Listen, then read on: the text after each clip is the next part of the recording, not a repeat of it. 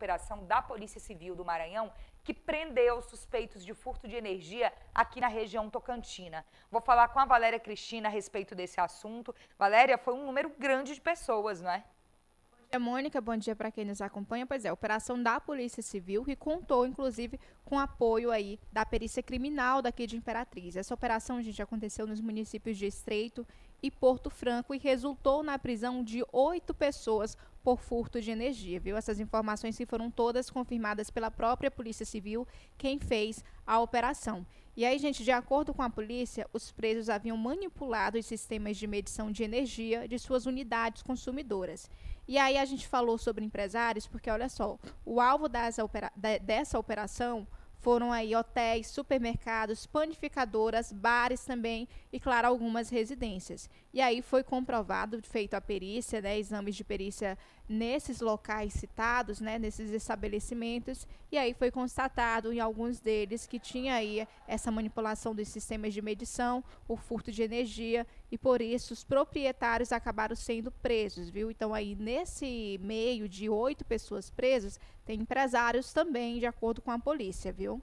Pois é, gente. Olha, quem tem condições de ter um estabelecimento comercial, mas aí cometendo essa irregularidade que é o furto de energia. Valéria sabia que muita gente pensa que não dá em nada cometer esse tipo de irregularidade, mas dá sim, viu? Não é a primeira vez que a gente acompanha um tipo de operação como essa feita pela Polícia Civil. Aqui em Imperatriz, não é, Valéria? A gente já noticiou também outros casos de prisão.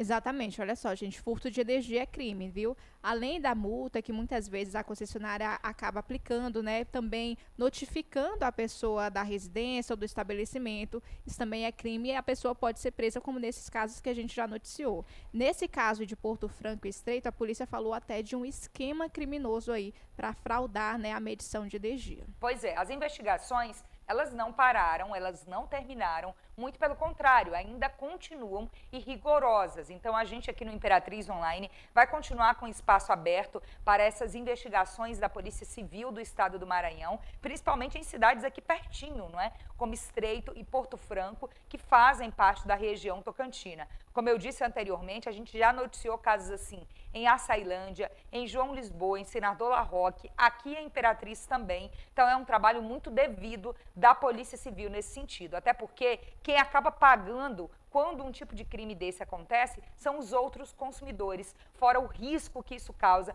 para toda a rede e um prejuízo que pode chegar aos outros consumidores também, que não tem nada a ver com essa ação criminosa. Vamos continuar de olho e noticiando esses casos aqui no nosso programa. Imperatriz Online.